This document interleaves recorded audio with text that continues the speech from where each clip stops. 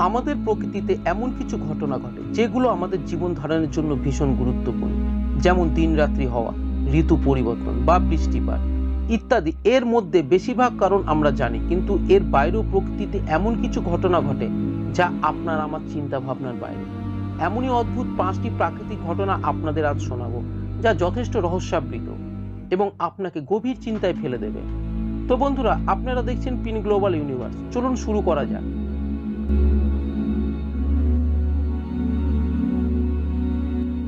United state of আমেরিকার দুই রাজ্য, নেভেদা ও ক্যালিফোর্নিয়া বর্ডারে অবস্থিত ডেড ভ্যালি ন্যাশনাল পার্ক, যা উত্তর আমেরিকা সব থেকে শুষ্ক এলাকা। আর এই এলাকায় অবস্থিত রেস ট্র্যাক পালায়া। এখানে এক অদ্ভুত ঘটনা ঘটে, যার কোনো বৈজ্ঞানিক ব্যাখ্যা আজ পর্যন্ত পাওয়া যায়নি। এখানে অবস্থিত সমস্ত পাথর আপনা আপনি চলাফেরা করে, কিন্তু আজ পর্যন্ত কোনো মানুষের নজরে তা আসেনি। এলাকাটা এতটাই শুষ্ক যে এখানে কোনো গাছপালা নেই, জায়গাটাও একদম সমতল। এবং এখানে অবস্থিত পাথর, আপনা আপনি চলাফেরা করে। কোনরূপ মানুষ বা পশুর হস্তক্ষেপ ছাড়াই। কিন্তু এই সব পাথরকে কেউ চলতে দেখেনি। পাথরগুলো যে চলে তার সব থেকে বড় প্রমাণ পাথরের পিছনে পড়ে থাকা আঁচড় কাটা দাগ। কিছু কিছু ক্ষেত্রে এই দাগ কয়েক মিটার পর্যন্ত লম্বা হয়। এই ঘটনার পিছনে কোনো পশু বা মানুষের যে হাত নেই, তার সবচেয়ে বড় প্রমাণ পাথরের ঘষা দাগ ছাড়া অন্য কোনো প্রাণীর কোনো পায়ের ছাপ কোনোদিন পাওয়া যায়নি। যদি এই সব পাথরকে কেউ না নাড়ায়, তাহলে কি করে পাথরগুলো স্থান পরিবর্তন করে? এই বিষয়টি দীর্ঘদিন ধরে মানুষকে গভীর চিন্তায় ফেলে দেয়। এর কারণ হিসাবে অনেক তথ্য দেওয়া হলেও পাকাপোক্ত কোনো তথ্য প্রমাণ হিসাবে উঠে আসেনি। দু হাজার তেরোতে একদল বিজ্ঞানী পাথরের উপর জিপিএস ট্র্যাকার লাগায় এবং টাইম স্ল্যাপস ক্যামেরার মাধ্যমে পুরো ঘটনাকে রেকর্ড করে। ওনারা যা তথ্য পেল, তা হলো এই এলাকায় বৃষ্টির জন্য একটি হালকা বরফের আস্তরণ পড়ে এবং যখন এই বরফ গলে যায়, তখন পিচ্ছিল হয়ে যায় এবং বায়ু প্রবাহের কারণে এই সমস্ত পাথরগুলোকে একদিক থেকে অন্য দিকে নিয়ে যায়।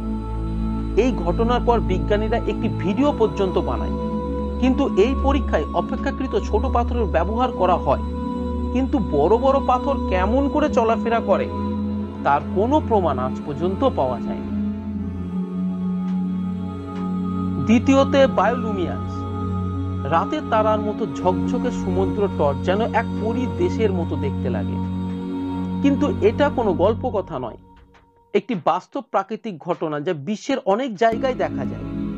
রাত হতেই পৃথিবীর অনেক জায়গায় সমুদ্রের ঢেউ নীল রঙে ভরে যায়।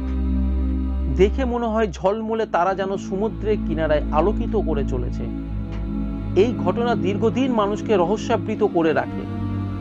এর কারণ হচ্ছে জলে অবস্থিত অতীব ক্ষুদ্র প্লান্টন যা জলের নড়াচড়ার ফলে নীল আলোয় ভরে ওঠে। এই ধরনের ঘটনা মালদ্বীপ পৈত্তরিকো সান দিয়াগো সমুদ্র তটে প্রায় দেখা যায়। তৃতীয় নম্বরে আছে মর্নিং গ্লোরি ক্লাউডস। এই ধরনের মেঘ যা আকাশে লম্বা টিউবের মতো অবস্থান করে। পাইলটরা এই মেঘকে আকাশের হাইওয়ে বলে থাকে। এই মেঘ হাজার কিলোমিটার পর্যন্ত লম্বা হতে পারে। এই মেঘ বিশ্বের কিছু এলাকায় দেখা যায়। তার মধ্যে সবচেয়ে বেশি অস্ট্রেলিয়ার গলফ অফ কার্পেন্ট্রি এলাকায় দেখা যায়।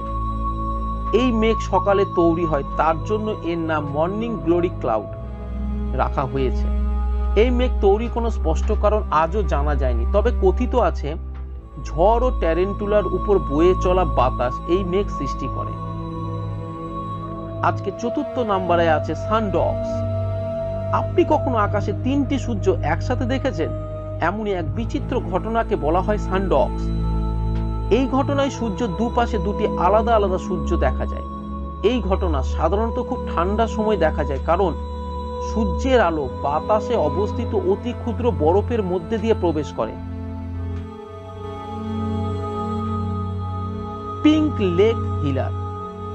পশ্চিম অস্ট্রেলিয়ার সমুদ্র তটের পাশে অবস্থিত এই পিঙ্ক লেক হিলার, যা আপনা আপনি মানুষকে আকর্ষিত করে।